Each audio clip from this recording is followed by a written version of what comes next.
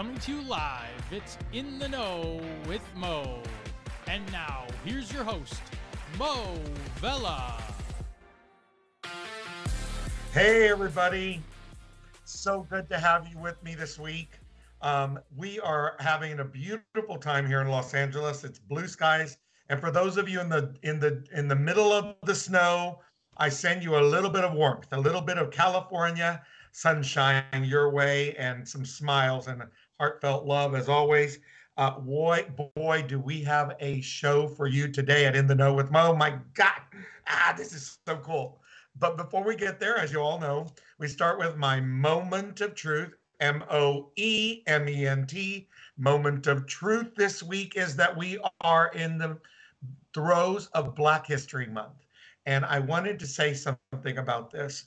I, I'm so conflicted on these months where we celebrate Hispanic Heritage Month and LGBTQ Month and Black History Month and so on and so forth because I'm conflicted because I truly believe in my heart of hearts that we should be celebrating Black history every day of the year, not just one month, that we should be celebrating every human every day by loving one another and being kind to one another and stop deciding who somebody is based on the color of their skin or who they love or where they were born or their country code or their zip code. So on this Black History Month, I'm just urging all of my viewers and listeners to join me in committing that every day of the year will be Black History Month in everything we do and in everything we say and in the how we love. So on that note, what a great segue to my guest. Um, this gentleman uh, has come into my life literally in the last 30 days.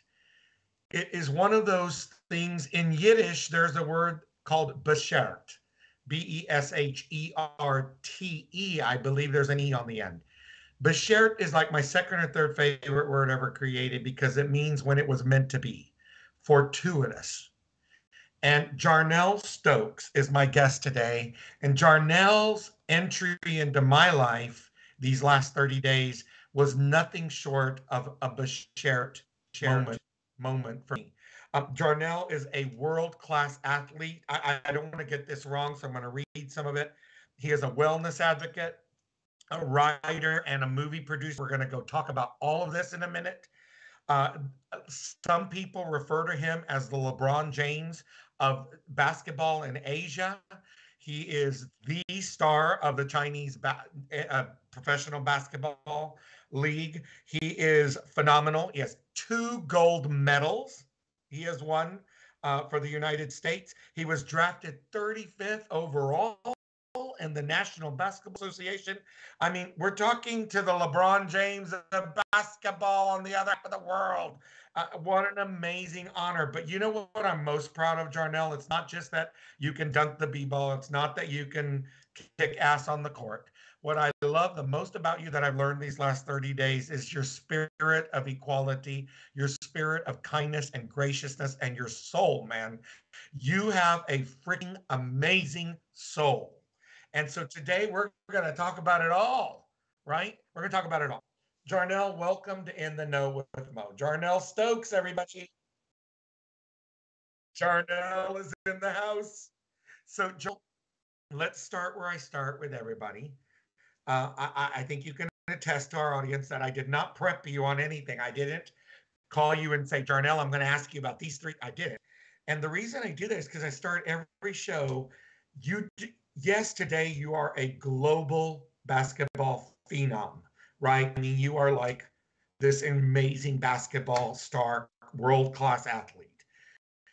But you didn't just get there. So we always start every show in the first segment by talking about where did you start? Like, what was Jarnell Stokes?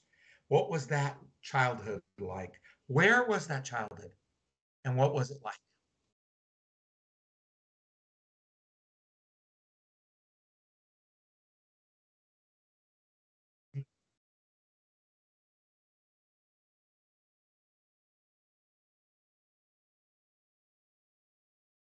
Gentrification. No, no, no, no. I just knew that that's what because it's such a, a, a it's it's its own pandemic gentrification. But anyway, please keep sharing. I'm sorry.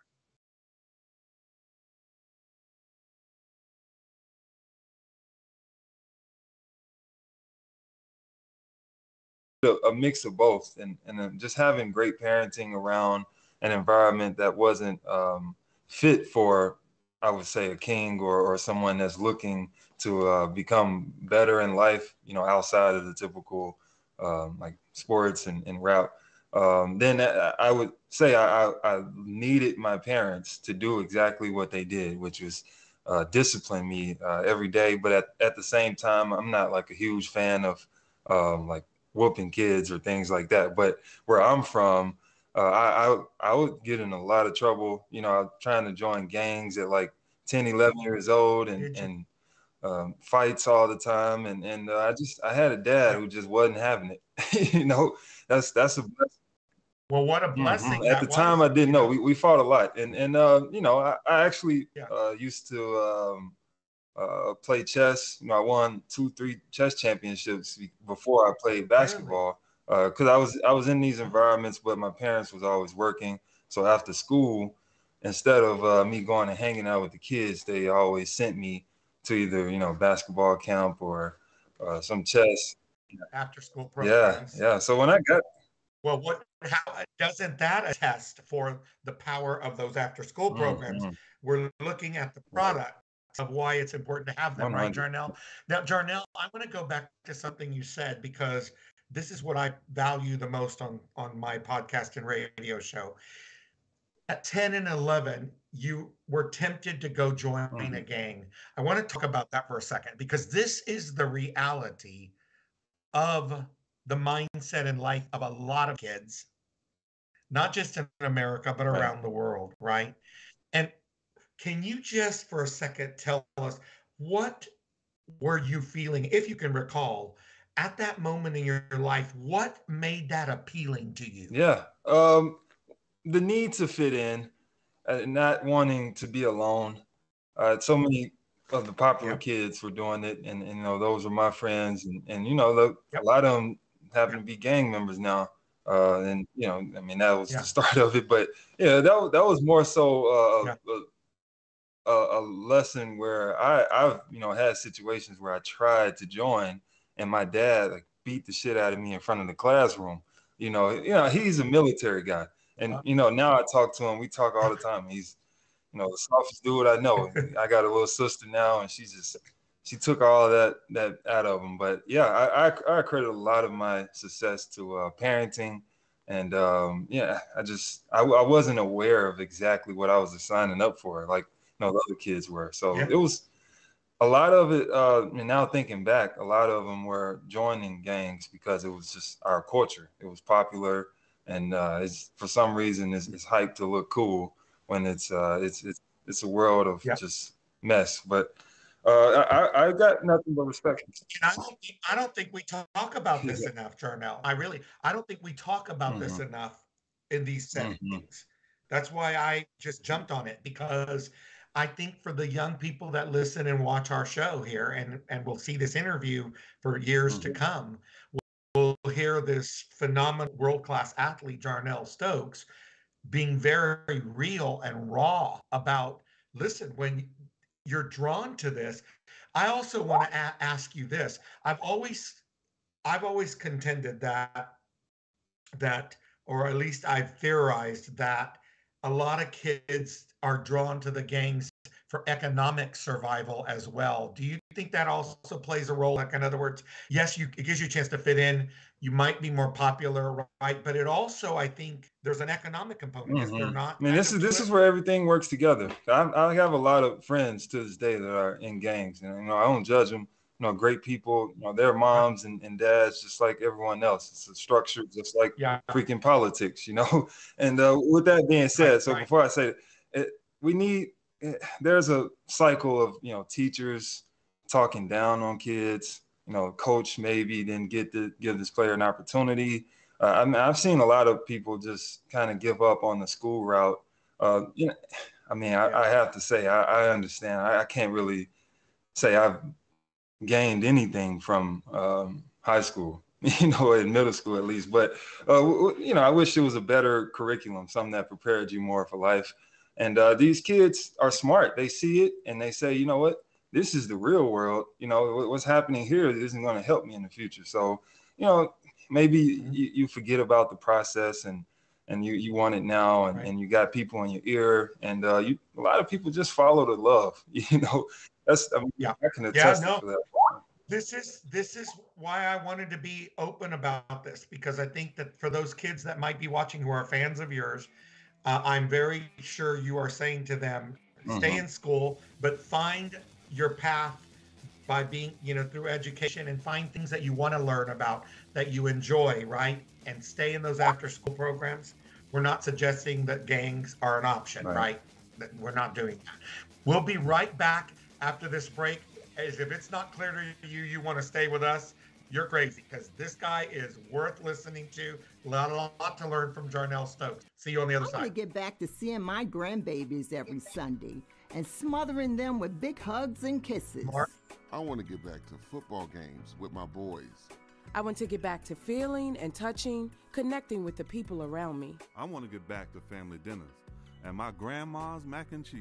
I want to get back to real grocery shopping taking my time, walking down every aisle, smelling the tomatoes and melons, having a free sample or two or three. COVID 19 has changed how we live and how we feel.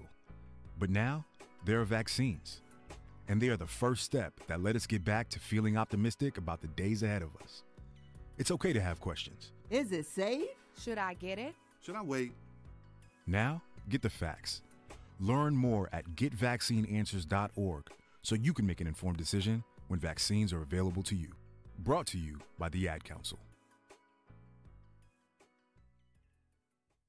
Hey, sis, missed you this morning. Kim told me you weren't feeling well, so I'm just doing a self care check. Oh, thank you, friend. How you doing? Girl, listen, my energy was so low because I didn't eat breakfast when I got up, so I had to miss virtual yoga with y'all. Mm, trust me, I understand. But I'm doing much better now that I've eaten, so I'm back on track. Great. In that case, let's get some steps in tonight. I'll come over and we can walk around the lake. Sounds good. Appreciate you being in my business, too. Now, let me get in yours. Did you check your blood pressure today? I did that and my squats, okay? Okay. High blood pressure is not going to be my friend if I can help it. See you at 6? Let's get it. See you then. Now more than ever, it's important that we protect our hearts and the hearts of those we love. Check in on one another and be a part of a healthy. I'm Rick Smith, and this is Labor History in Two. On this day in labor history, the year was 1936. That was the day more rubber workers sat down in Akron, Ohio. Tire builders in Goodyear's plant number 2, Department 251A, sat down when 700 co workers were laid off. Goodyear had been running four six hour shifts. They hoped to reduce the workforce by implementing three eight hour shifts with no increase in pay. Management moved quickly to fire all of the strikers. By this day, all 4,000 workers at Goodyear voted to strike over the layoffs and firings, the speed ups, and the new shift hours and pay. The enormous 11 mile facility was immediately shut down. In his book, Strike, historian Jeremy Brecher indicates that few, if any, were union members. The United Rubber Workers Union was hesitant to associate itself with the sit down. Rubber workers organized themselves. They set up 24 hour pickets at dozens of gates, built striker shanties, and set their demands. After six days, the United Rubber Workers Union sanctioned the strike. Brecher described the scene writing, quote, The company secured an injunction against mass picketing. 10,000 tradespeople from across the city gathered with lead pipe and baseball bats to stop 150 sheriff's deputies from opening the plants. The Summit County Central Labor Council guaranteed a general strike if Law and Order League vigilantes carried out their threatened March 18th attack on picket lines. The vigilante movement was paralyzed. Federal mediators demanded a return to work and arbitration. Workers responded, No, no, a thousand times no. I'd rather die than say yes. Finally, Goodyear capitulated on most of the demands, except formal recognition of the union. Rubber workers returned to work largely victorious. After renewed struggles, workers finally won union recognition a year later.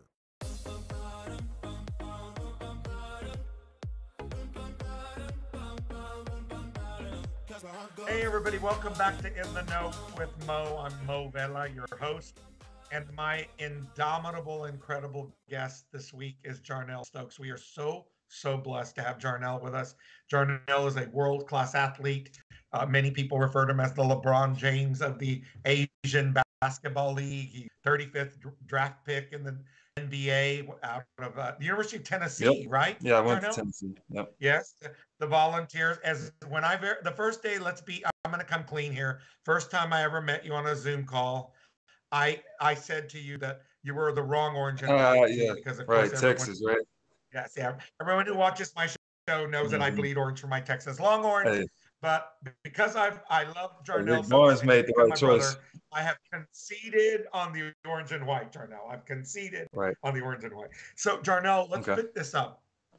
So you finish high school and you do you get a scholarship to the University of Tennessee to play basketball? I mean, you must have been pretty damn good in high yeah. school. Uh, so when I started playing basketball, I was, you know, a bench right. I literally, uh, from like age 11 to freaking 14, or maybe nine, 10. I think I started earlier, sixth grade, fifth grade, but I, I rode the bench all the way to high school, honestly. So I'm from where I'm from. You know, the guy at the end of the bench gets no respect, and uh, you know, I had to fight. I had to claw for everything. It's like that that guy who uh, got his first chain. You know, and everybody just want to take it off of him once he hit the club. You know, that's how I felt once I Yeah, got yeah. to a position where it was, uh, you know, stability, and uh, you know, I was able to uh, then, you know, become up to like rank number three in the nation.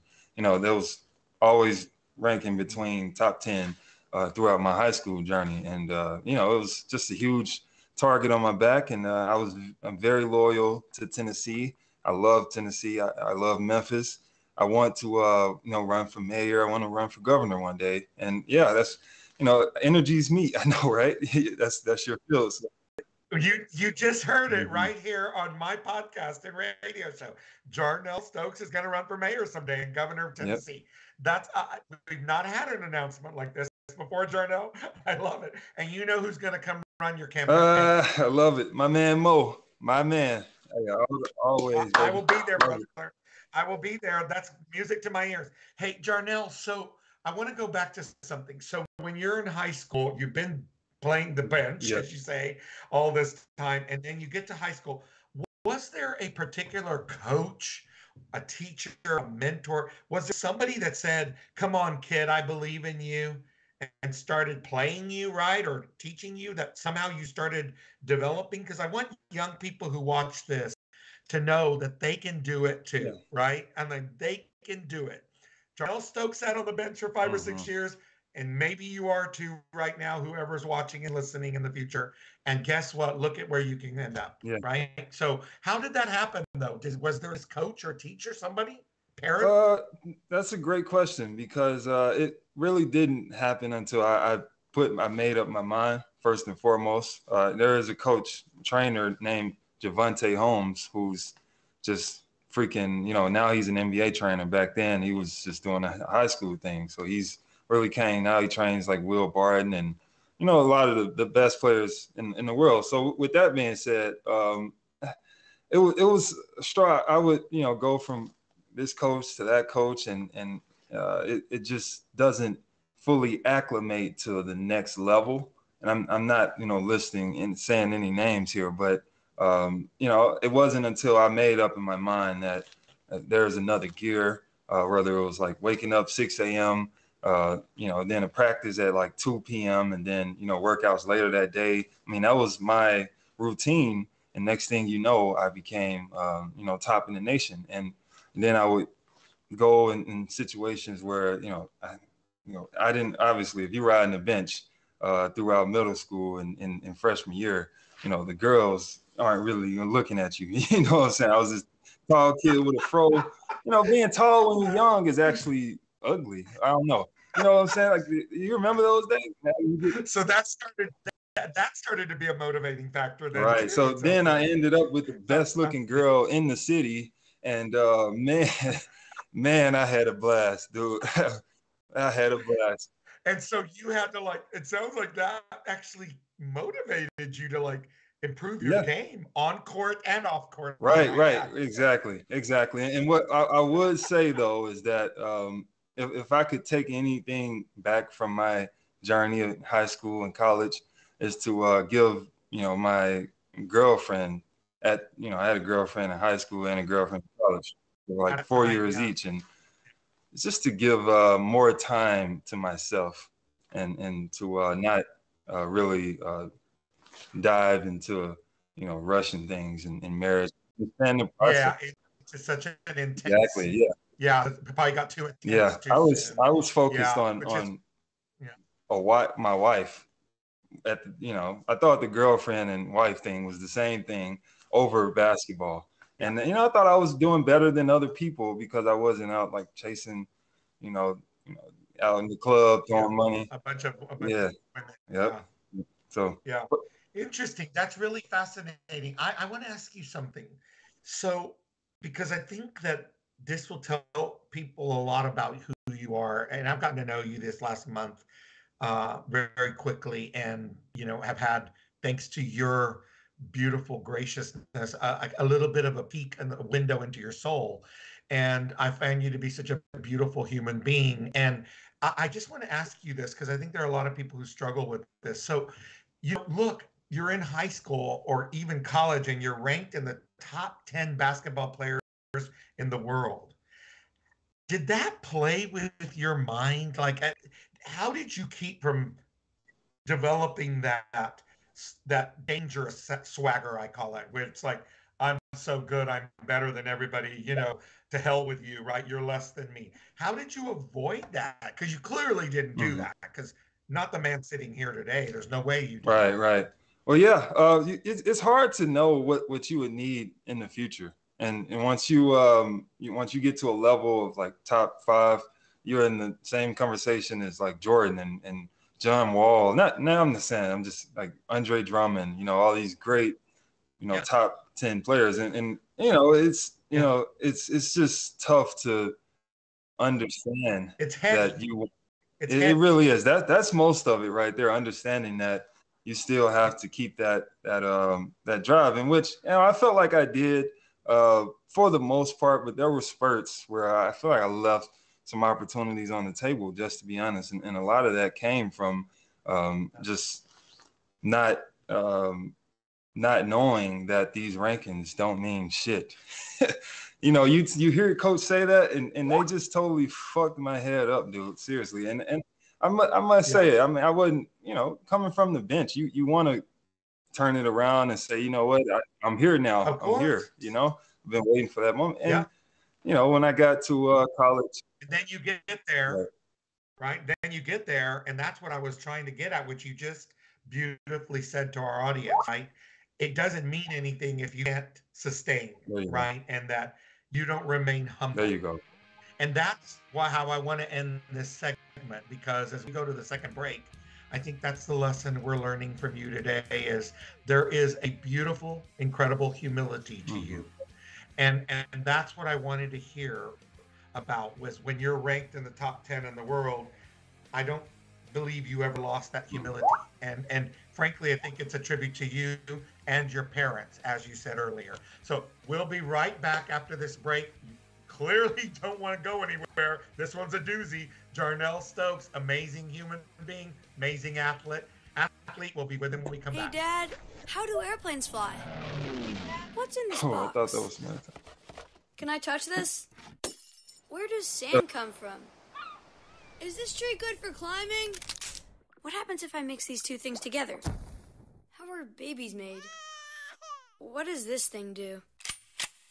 Kids are curious about everything, including guns. Talking to them about gun safety in your home is a good first step, but you can do more. Always keep your guns locked, unloaded, and stored separately from ammunition. Storing your guns securely is the best way to prevent family fire, including unintentional shootings. For more information on safe gun storage and ways to keep your family safe, visit endfamilyfire.org. That's endfamilyfire.org. What do we keep in the attic? What's this thing called? Can I ride my bike backwards? Like I said, kids are curious. It's up to us to keep them safe. Brought to you by End Family Fire, Brady, and the Ad Council. Right now, our country feels divided, but there's a place where people are coming together. I gotta tell you, I was nervous to talk to someone so different than me. Me too, but I'm glad we are.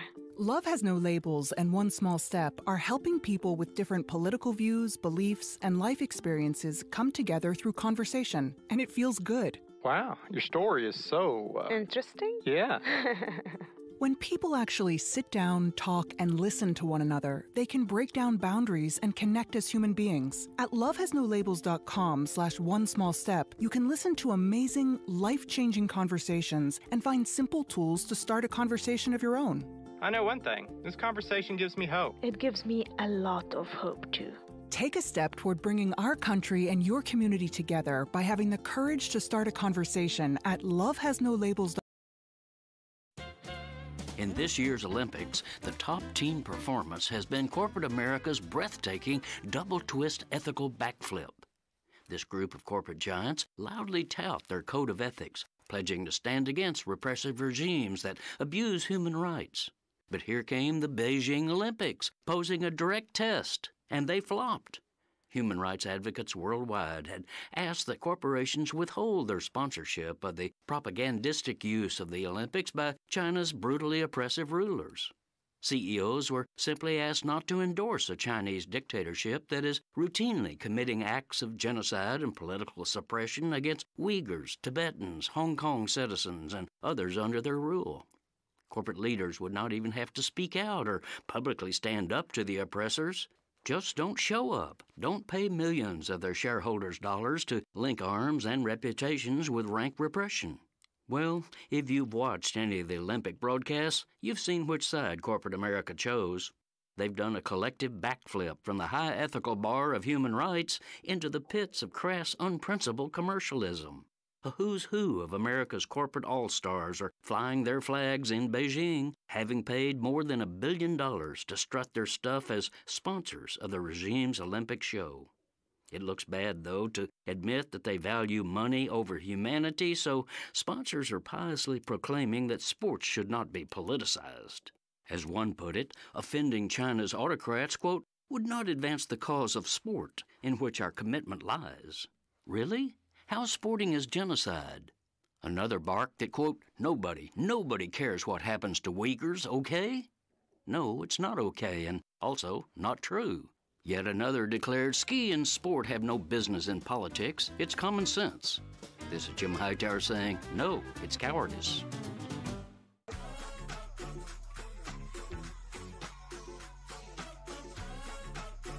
Hey, everybody, welcome back to In the Know with Moe. It's so good to have y'all with us this week.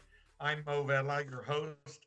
Uh, my guest is somebody very special to me, become like a little brother to me very quickly, Jarnell Stokes, the LeBron James of global basketball. Uh, you know, ranked number three, we just learned when he was in high school and then in college, in the top three, top five, top 10 players in the United States and around the world. This, this guy's amazingly talented on the basketball court. But I'm now going to move uh, to a different subject because he's not just talented on the court, he's talented as a human being. And I invited him to be my guest because Jarnell is so much more than a basketball. And this is kind of the underlying message of my podcast and my radio show that my guests are not just a they're not just scientists or they're not just teachers they're they're human and and i like to explore the humanity of my guests. So on that note jarnell i want to move to i do want to finish off on basketball for a second because you go and you play in china.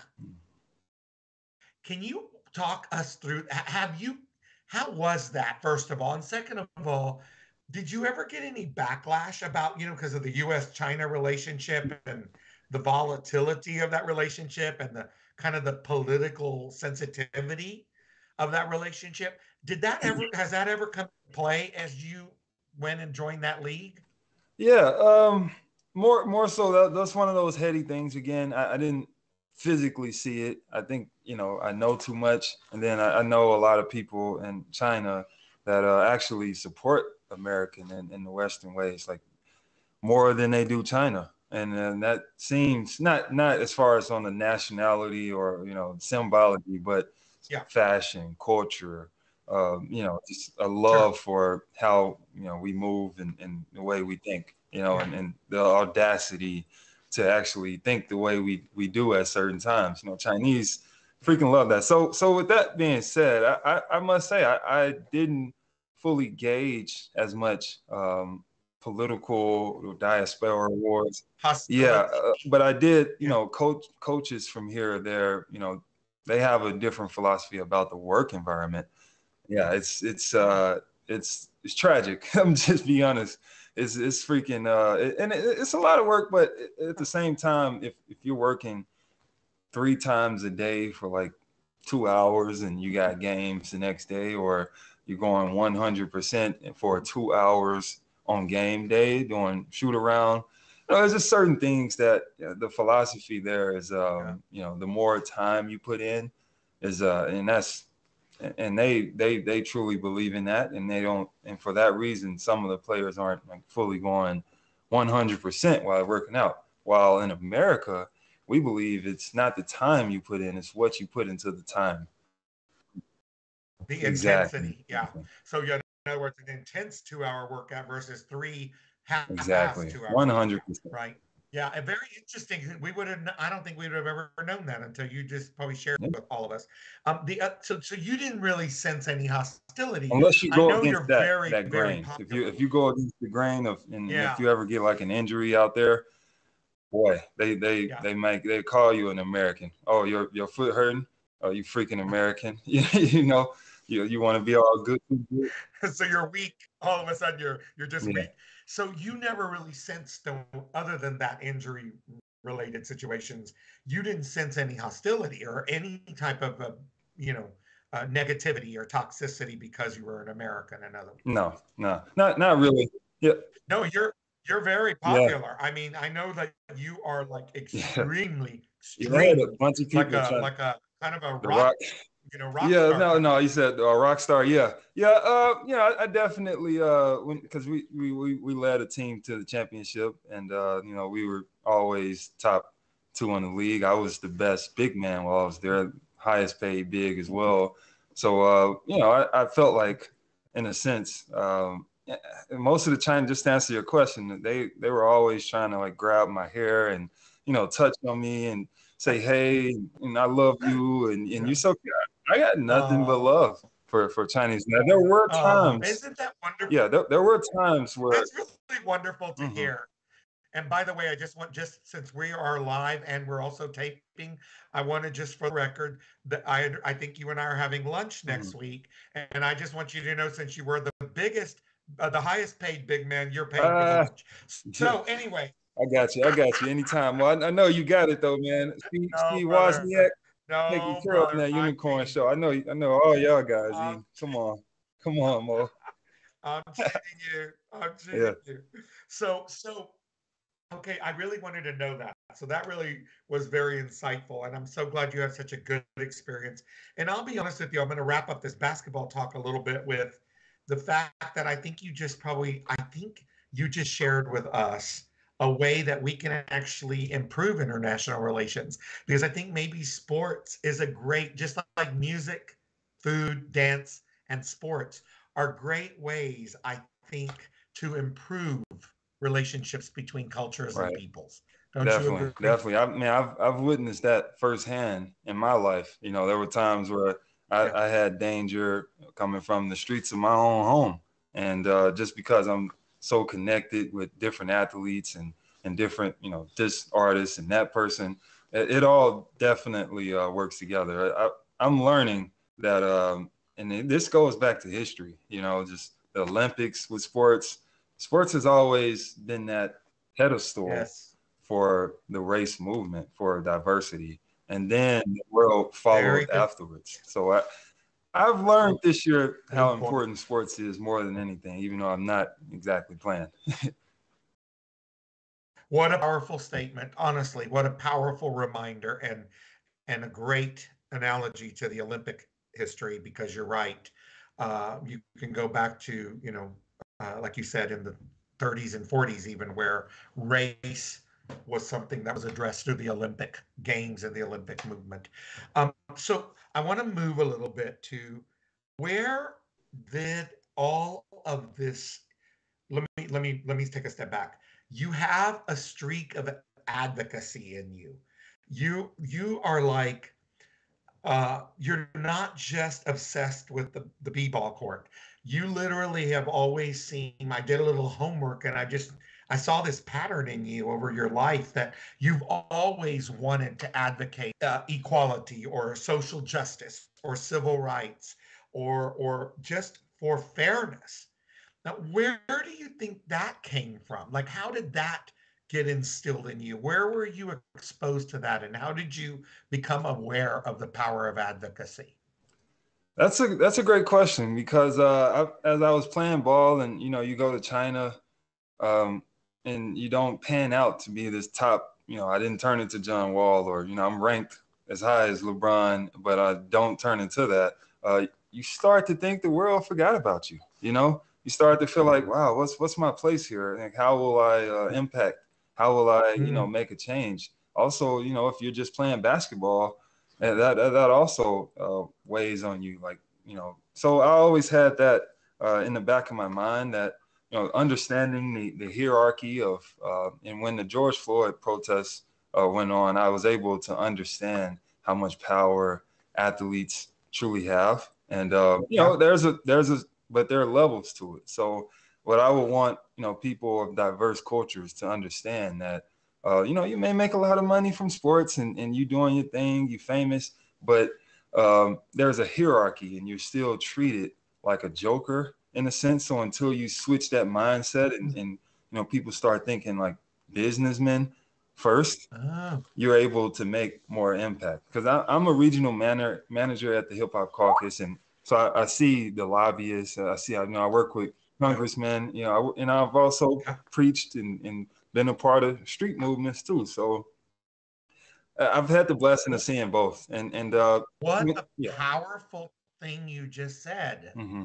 and such a great lesson, not just for athletes that might be listening, uh, right, but for all of us that that it's about understanding that um, we need to demonstrate how multifaceted we are as humans, right? So, yeah. in other words, you you had to like fight and claw to not just be seen as this globally recognized, tremendously talented athlete, right. but that you had intellect as well, that you had an entrepreneurial spirit mm-hmm. in you, right. that you have business acumen. Right. Right. Definitely.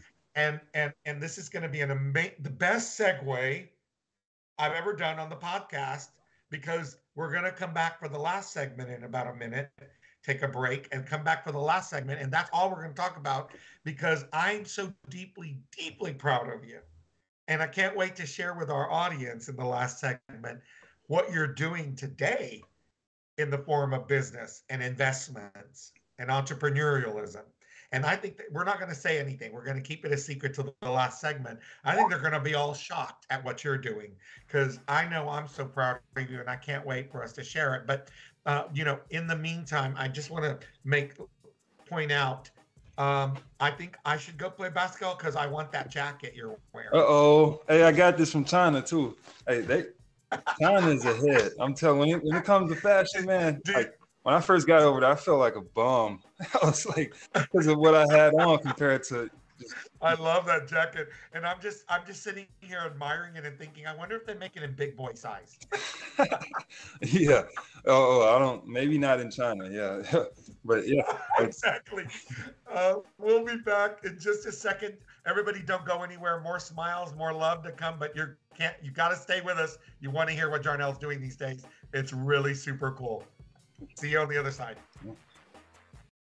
What I know about courage, I learned from my adoptive mom. Mark? She said sometimes you just gotta hold on and know we'll get through this. Mom, we are so high up. Hold my hand. no, you hold my hand. Here we go.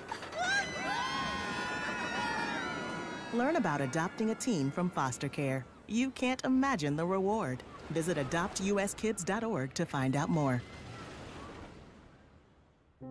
I learned patience from my adoptive dad. All All he had to say was, Hey, you got this. Just breathe. hey, we're pretty good. Yeah. Might have to start a band. I got it. Learn about adopting a teen from foster care. You can't imagine the reward. Visit adoptuskids.org to find out more. This message is brought to you by Adopt US Kids, the U.S. Department of Health and Human Services, and the Ad Council. COVID 19 has changed how we live and how we feel. We show up differently, worship differently, and have found new ways to express our love and support to family and friends. But now there are vaccines, and they are the first step that lets us get back into the things we miss most. Like spreading the word without spreading concern, girls tripping instead of solo sipping, brunching instead of late night munching, and talking smack with a side of mac and cheese. It's okay to have questions about COVID 19 vaccines. Should I get it? Should I wait? Is it safe? Can I trust it? What about pre existing conditions? Now get the facts. Visit getvaccineanswers.org so you can make an informed decision when COVID 19 vaccines are available to you. 911, what's your emergency? America's healthcare system is broken and people are dying. Welcome to Code WACK, where we shine a light on our callous healthcare system, how it hurts us, and what we can do about it. I'm your host, Brenda Gazzar. This time on Code WACK. What unique challenges do men with breast cancer face when it comes to healthcare? How do insurance companies make getting certain tests more difficult for some cancer patients? We recently spoke to Nilton Fonseca, a husband and father of three from the greater Los Angeles area, who was diagnosed with breast cancer in 2020. Welcome to Code WACK, Nilton. Thank you for having me. There is a uh, genetic uh, test which is typically done. It's called the OncoD type test. Those are typically routinely approved, you know, so that the oncologist can then sort of plan out the uh, chemotherapy uh, uh, drug cocktails that you end up taking. But in my case, it was rejected on the basis that there's not enough data on men.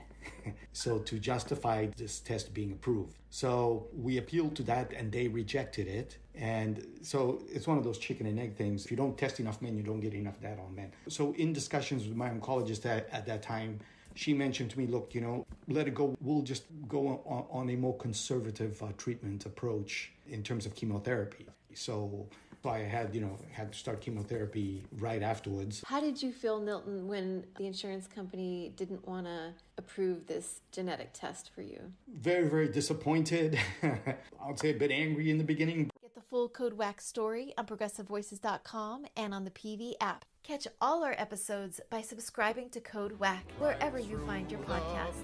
This- very heart of it, New York, New York.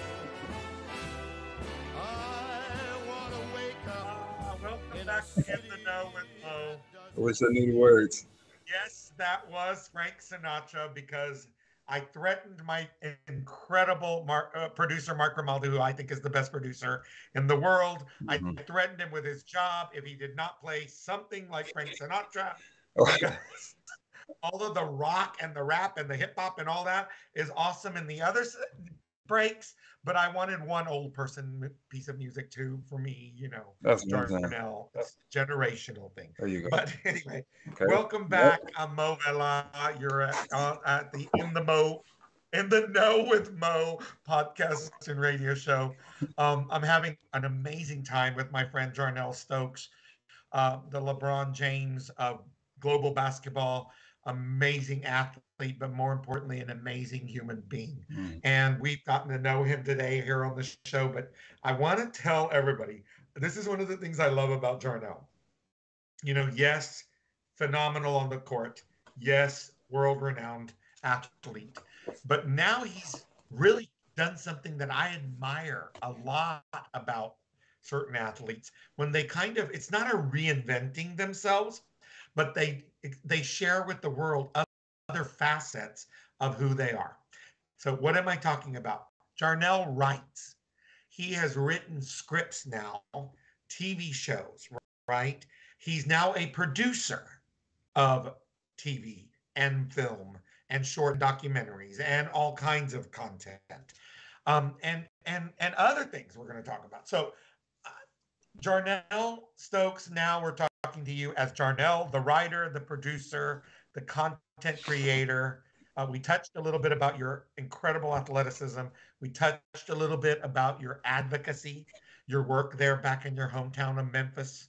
I'm so proud to see you fighting certain regulatory efforts that you thought would be unfair to the black community and to the neighborhoods you grew up in and you fought them and you won and so therefore you will be the mayor if i have anything to do with it eventually you will be the governor of tennessee i want to talk a little bit about what drew you where did this creative mm. mind come from this creative incredible spirit that you have because i've seen your scripts okay let's go ahead and tell our audience i saw that i read one script and I am now co-executive producing the show with Jarnell Stokes. That's how much I was impressed with Jarnell and his writing and his his co-writer Shannon. Um, so Jarnell, what drew you to production? What drew you to writing? What drew you to content development? Yeah. Oh, well, I have to say, it started when I was a kid. Um, the, the gang really? life uh, that I was surrounded by, uh, I never yeah. let it uh, influenced me to the point where I actually, you know, put my entire heart and mind in it. Instead, I went and played ball or, you know, chess or, you know, do word puzzles. Yeah. I, I would write. And, you know, every time I, I learned early that every time I opened my mouth and tried to, you know, help and explain what I felt, uh, it just, you know, got taken the wrong way. And uh, with that being said, uh-huh. you know, when you're in a situation where you don't have many people to relate to. You know, you go through years and years of just having this, you know, bottled in and you know, just minding your own business, but you care so much about the world that is in a lot of trouble. That's somewhat on fire, depending on the perspective. If you know a lot, which I, yeah. I'm cursed, you know, in this loop of just knowing too much, way more than I should know. And and with that being said, uh, you you can't fully just come out and verbally verbalize what you want to say uh, to help people. So it, it is better, just like a rapper. You know, it's, it's better to sometimes yeah, express it in other of a gang member, and you can change the life of a gang member just by rapping. Well, you can do the same thing by creating characters on TV shows. Uh, so my intention to getting into Hollywood was to um, you know help not only athletes but the culture, you know, uh, artists, and just provide a different perspective without pissing people off like you do when you're talking too much. Yeah, yeah, yeah. No, and and I think that is so beautiful what you just shared because I think that the power of storytelling, right, and content development and, and creating a narrative, right, and and so let I want to talk about this because you sent me a script. I was so taken aback by it, and I was so impressed. Uh, and then together, the last 30 days or so, we've been going back and forth.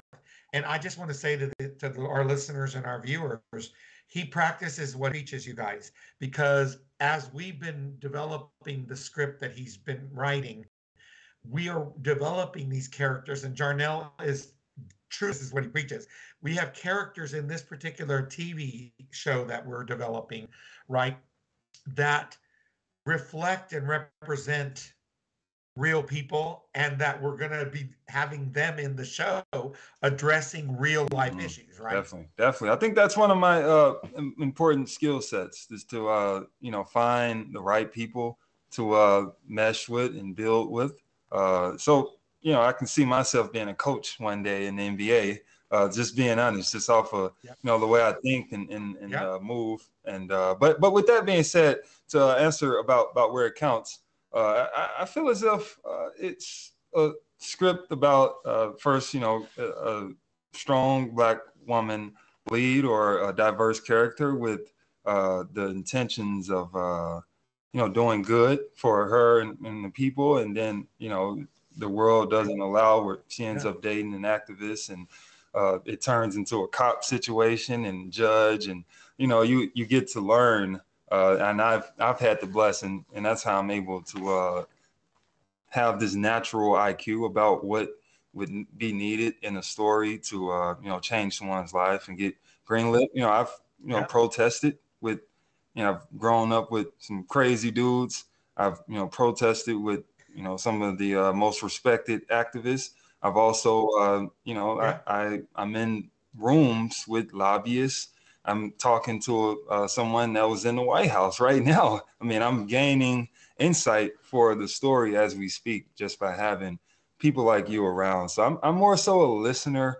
And, and when you uh, when you listen, you know, more than, than you speak, you definitely uh, just it just oozes out. You know, you don't have to. Uh, yeah, and you're you're writing, you're writing even in the even in a fictional right. script uh, and again, in the conversations I've had the blessing of having with you, it's very apparent that through your listening, you have gained a tremendous amount of wisdom. Mm-hmm. And, and then you're able to then share that in your terms and in the way you express yourself. And I think you're right that it's, I love that you're producing now. I love that you're writing. And I'm, I feel just so uniquely privileged to be by your side for just a little itty bitty part of it. Uh, because I think, uh, you know, and on that note, let me just say this because I think I would be remiss if I didn't mm-hmm. say this. Um, I was having a lunch this week, by the way, with somebody I'm going to introduce you to this afternoon, um, because I think it'll be a mutually beneficial relationship. But we were having lunch, and I was describing you and kind of telling this um, sports agent, as a matter of fact, who represents 65 like NBA and NFL, you know, high profile athletes. And I was describing you and and I said, you know what the most beautiful thing is about my new friendship with Jarnell Stokes is that you said something to me a few weeks ago that really, really impacted me, Jarnell. And I want our audience to hear this because you said, you know, technically, if we let society determine our friendship, we weren't supposed to have one. Right, right, one hundred percent. Right, because because a, a, a, black kid from inner city Memphis is not supposed to really be friends with a chubby, gay, bald, ugly Latino from South right. Texas. Yeah, right? you, you don't give yourself enough credit, and, man. you just. Uh, no, no, I appreciate that, brother. But you know what I'm my you know what my message is as we end our time together. It's that we not only did we become friends, we're becoming brothers and we're going to do business together because I think that was something you and I agreed to. We we you know kind of like heart to heart, we said if we can come together and demonstrate to the world that we can love one another, then damn it, so can mm-hmm. everybody else, right. right? And hopefully, our friendship and our brotherhood and our, our collaboration uh, in business is going to be able to demonstrate to others that that's the, what we should be doing every minute of every day of our lives, right? Is there any last thing you want to share with our listeners and our viewers? Um, no, I, I mean, I personally, I'm just training. I'm training my mind, my body, and you know, I've always been, you know, doing the soul thing, and and uh, that's pretty much my, my focus. Just I don't want to, uh, you know, I, I hadn't really been in uh, the city too much just recently, not only because of COVID, but because I've uh, been able yeah. to uh, work on myself a lot easier, you know, being away. So uh, if yeah. there are people I hadn't really hung out with and talked to, I'm sorry, you guys. I love you, and uh, you know all my, my buddies that's playing ball right now.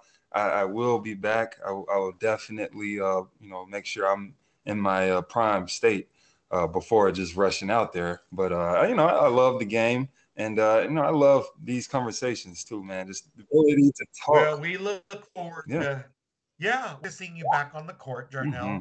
And and I just want to tell you from uh, getting to know you and having you on the show today, and plus getting to know you the last month, your training is going extremely well, my brother, because I've gotten to see how it's working on your mind, your heart, and your soul, and you are kicking ass. Peace, Amen. man. Love you. Love you too. Be safe. Okay. Take care.